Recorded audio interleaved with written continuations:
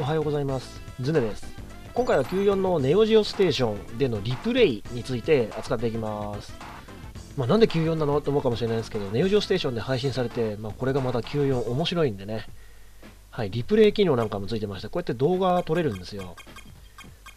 で、まあ、2時間近く録画できるのかな。で、細かい機能いろいろついてましてね、まあ、こうやって確認するだけではなくて、まあ、もうちょいしたら始まると思うんですけど、あの、早送りが可能なんですね。こうやってポーズしたり、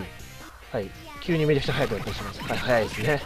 まあ、こんな早送りができたり、あとはめちゃくちゃ遅く見ることも可能です。もう言うなればフレーム送りまで可能ですね。まあ、なんか音が変な風になっちゃって嫌な感じですけれども、こうやってゆっくりゆっくり見ることも可能です。そんで、そうですね、まあ、ちょっと文字がね、潰れちゃって、画質非常に悪くて申し訳ないんですけれども、まあ、1分ごとにね、試合の方を送ったりだとか、いろんな機能がついております。まあ、何よりね、ネット対戦の内容を動画に残しておけるっていうのは、なかなかいい機能なんじゃないかなと思っております。まあ、今のはあの1分先に送ったってやつですね。はい、1分先に送ったところの試合から、まあ、えー、続きが見られると。はい、早送りするともう何が何だかわからんカオスですね。まあ、押村区は、この、早送りですね。早送りがもうちょっと早ければよかったんですけどね。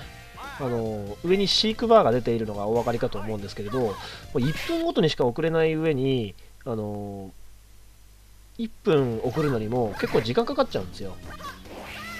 その1分送るのがサクサク進めばいいんですけど、まあ、毎回読み込みが入ってしまうので、まあ、長時間の録画をすると、その見たい試合を探すっていうのが少し大変になっています。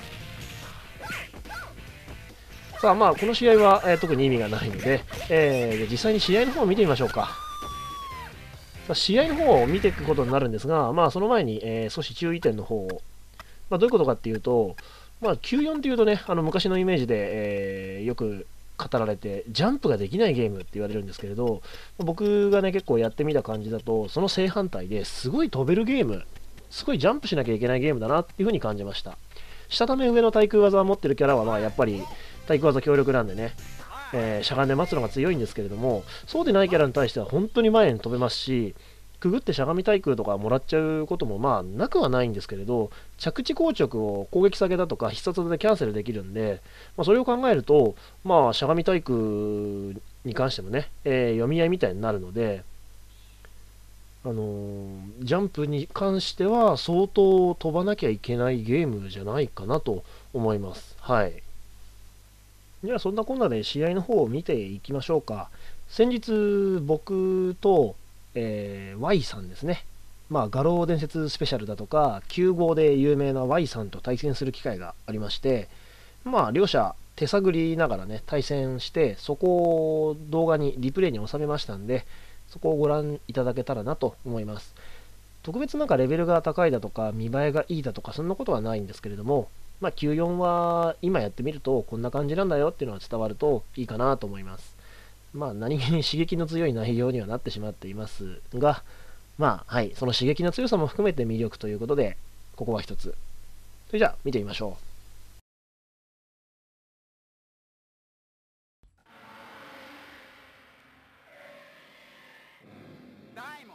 1P 側が僕、常で、2P 側が Y さんになっております。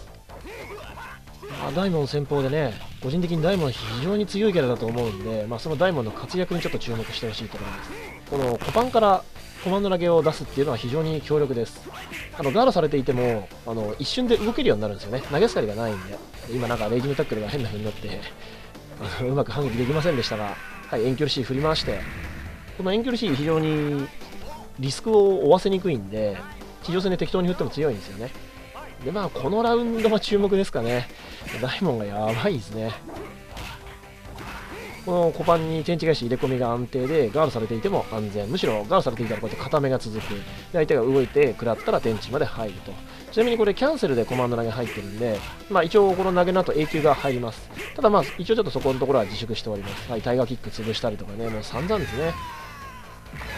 で、地雷神、この死ぬ瞬間に出すと、2回そのファイナルダウンの声が聞けたりと、まあ、くだらないバグまでついております。あの地上吹っ飛ばしなんかにね、キャンセルでかけておくと、あの一瞬でこちらも動けるようになったりして突き消しになって固めが続きますね。あのやりたい放題で。す、まあ、調子に乗ってやりすぎてねあのヒットしてるのにうまく天地返し出てなかったりとかそういうこともありますけれども、はい、ダイモンはとにかくこれで波に乗っちゃうと手がつけられないんですよね。で結構あのそのジャンプできるゲームだっていうゲームのイメージに対するものと、ね、あの似てるんですけれどもあのキャラクターの強さですね。キャラクターの強さの方も結構昔と今では違いますね。昔のゲームストムックなんかだとあのイギリスチームが強い、えー、あのすみません逆だ。イギリスチームが弱いですね。すみません。イギリスチームが弱いっていう風に、えー、言われていたんですが最弱チームだっていう風に言われていたんですが今やると強いと思うんですよねまあ、このイタリアチーム、画廊のチームですね。画廊チームがダイヤグラムでは最強だ、1位だっていう風になってたんですけど、そこよりも強いんじゃないかなっていう気がするんですよね、イギリスチーム。少なくとも真ん中よりは上と。でそのイタリアチーム、ガローチームは、むしろ下から数えた方がワンチャン速くなっちゃうんじゃないかなっていう気がしてます。まあ、今のところこのダイモンド固めだとかね、吹っ飛ばしからこうやって天地返しで出してれば苦しそうですよね、ラルフガーがね。このダイモンの存在のおかげで日本チームは、まあ、かなり上位だと思うし、まあ、ブラジルのハイデルンが強い強い言われてますけど、なんだかんだで対策をすると、あのハイデルンが活躍したとしても、ダルクラが足引っ張ることもありますし、まあ、最上位は日本と韓国じゃねえかなと思うんですよね。まあ、日本のこの主人公チームと、キム・チャン・チョイのチームですね。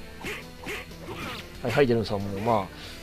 しゃがんで待ってられるうちはいいんですけど、そうじゃなくなっちゃうとかなり脆いので、特にあのガードしながら前 C で投げ暴れとかしようとしたときにクロスカッター漏れるっていうのも結構マイナスのポイントですよね。まあ、難しい当たっちゃうとすごい減りますね。で、あ、そうだ、言い忘れましたけど、このゲームでもコマンド投げが1フレ投げになっております。なので、入力が完成していれば、あの相手がどんな状態だろうと、まあ、投げられ判定さえあれば、掴んでくれます。打撃と噛み合った場合でも投げが勝つようになってますね。さあ、なんかダイモンを荒らしておりますけれども。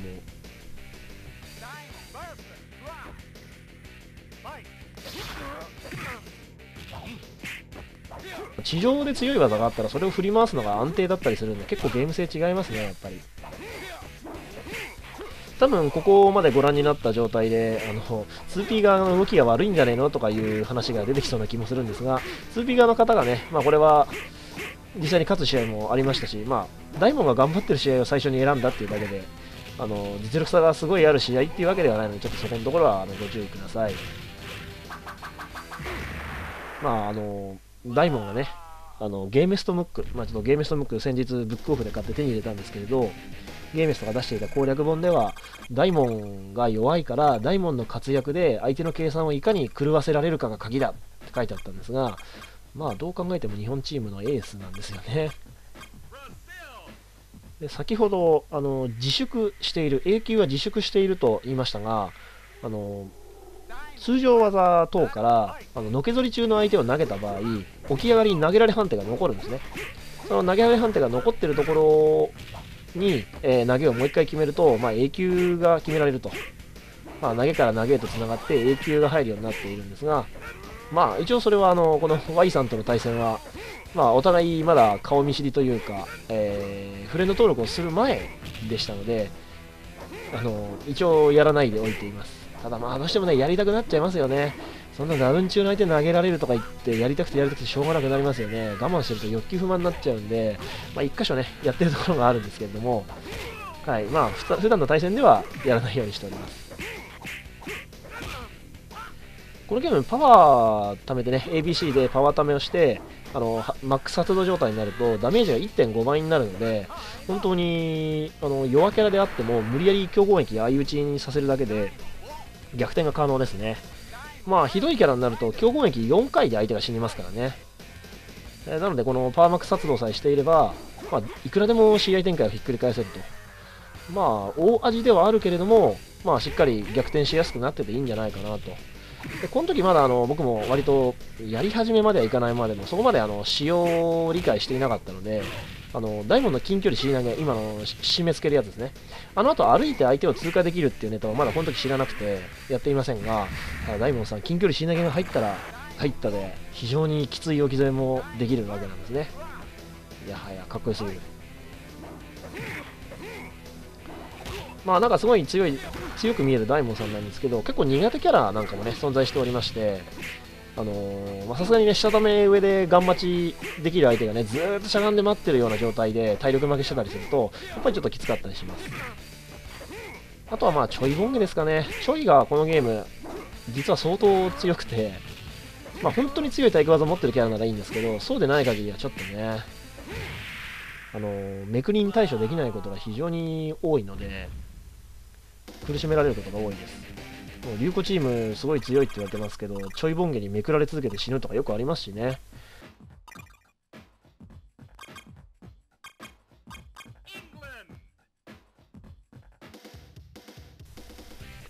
イギリスチーム登場しました、まあ、ちょっとこちらは先方大門固定の寒いプレーに走ってしまっております。投げが入って、どうしても A 級が決めたい。なので、起き上がりに大外刈りを決めちゃうと。本当はこのまま A 級に行けるんですが、まあ、どうなんでしょうね。大会とかあったら禁止されるのかな。調子に乗ってちょっと天地返しがうまく出せていませんが。でこの小ジャンプとかがないせいで、このエンゲル C を咎める手段がなかなかないんですよね。だからエンゲル C 振り回しが相手キャラによっては非常に有効と。まあ、この動画をね、ご覧になられてる方がどれほどいるのか分かりませんけれども、まあ、もし94をプレイする機会があったら、ぜひ大門さん使ってみてください。非常にかっこいいキャラですね、これね。ちなみに大門はあのマックス発動中にね、ジャンプ吹っ飛ばし4回決めると相手が死にますんでね、あの投げ技だけではないんですよね。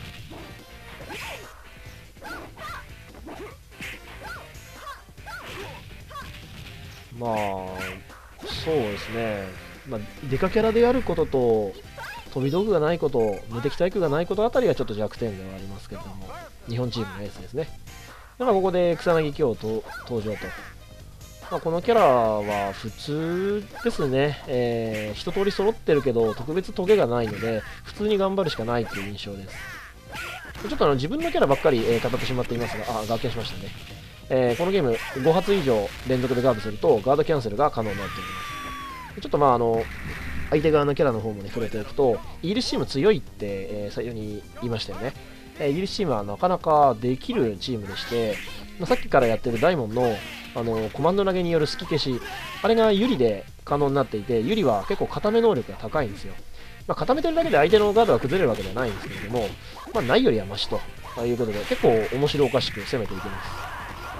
前の方は確かに普通にやるとやることねえなこのキャラって感じがするんですけどムササビの前がガードさしても反撃はほぼ受けない性能になっているのとあと上りジャンプ D が、あのー、中段になるんですね、えー、大半のキャラに対して中段になるのでまあ、しゃがみ B からの連続技と、えー、上り D、もしくは上り吹っ飛ばし、その2択でガードを崩していくと、まあ、非常に強いなという感じです。で、しゃがみ B からも、あの超必殺技、超必殺忍び鉢が繋がるようになってるんで、まあ、どっちにしろリターンは結構見込めるので、なかなかいいキャラかなと思います。しゃがみ C も暴れ技として非常に優秀ですしね。しゃがみ C 竜炎部が繋がらないとこだけがちょっと辛いかなっていう気がします。さて、まあ、韓国チーム出てきました。まあ、韓国チームは僕的にはね、A 級とかをなしにするんであれば、まあ、日本チームと並んで2強かなっていう感じなんですけれど、このキムカッファンが結構嫌らしいんですよね。非演算待ちも可能だし、しゃがみ刻みからの非演算も減るしで。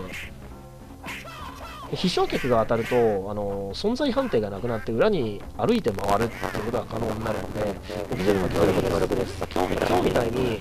あの飛翔客ガード後に反撃のあるキャラだったらいいんですが、ないキャラに対しては飛翔客をガンガン出してっても、そんなリスクはないので、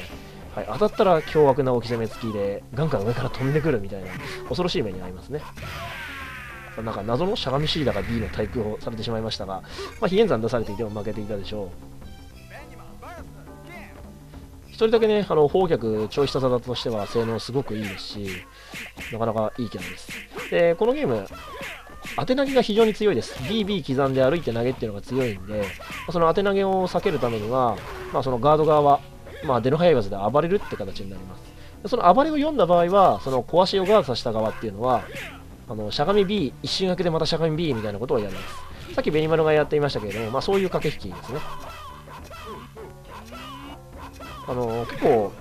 熱くなったり負けが込むととにかく当て投げに行くっていう方が結構このゲームでは多いんですがしっかり読み合いを理解するとね結構熱いんですよね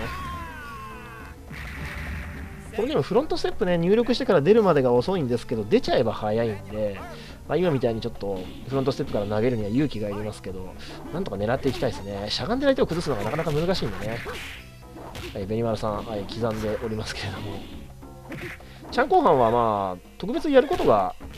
いっぱいあるわけではないんですけど、やれることあんまないんですけれども、あのー、一発一発がでかいんですよ。発動状態だと、ジャンプ D とかですごい減るんで、今は、なんか発動状態になられちゃった以上はすぐ殺そうみたいな感じで、ベニマルで攻めて殺しちゃった感じですね。で、ここで登場するのがちょいボンゲ。ちょいボンゲが本当に嫌らしいんですよね。あのー、相性の悪いキャラ使っちゃうと追いつけないし、空中戦で勝てないし、まあ、ガン待ちでタイムオーバー上等みたいな動きをするしかないのかもしれないですね。まあ、この時はそんなに徹底した感じではないので、ちゃんと対策として実行できているわけではないんですが、こうやって普通に追いかけると、全然なすすべないんですよね。まあ、通常投げで無理やりダメージを奪ってみてはいますけれども、実はこのちょいボンゲ弱いと見せかけて、あの下ため上パンチのあの上に上がっていくやつですね、竜巻出しながら上に上がっていくやつ、あれがあの無駄に無敵時間があったりして、結構だるい性能しております。ちょいだから火力ないんじゃないかっていうふうに思われがちですけど、発動してるとやっぱり1.5倍なんでね、ダメージでかいんですよね。ちょいの強攻撃でも結構バカにならない減りをしますし、まあ、ジャンプシートがね、2段もらっちゃうと、地上にいて2段もらってしまうと、気絶コンボもらっちゃったりすることもあるんで、注意が必要です。この先ほど無双状態だった大門さんも結構辛いんですよね、この組み合わせ。まあ、この状態で後ろ下がってガン待ちしていればよかったのかもしれないですけど、ちょっとここでね、色気を出して、大門さんのかっこいいところ見てみたいみたいな感じで前出たのが海月ですね。なんとか遠距離しないで決めてみるものの、発動状態だから減るんですよね。はい、暴れ潰しっぽく、あの、ゴロゴロ転がるのが入っちゃって、ダイムの死亡と。まあ、とりあえず、えー、対戦動画、リプレイの、えー、その1はここで終了とさせていただきたいと思います。